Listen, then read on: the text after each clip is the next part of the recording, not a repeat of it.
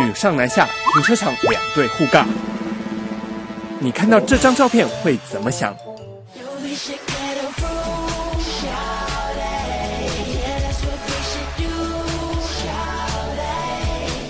没错，这些来自英国北爱尔兰的青年开个房间吧。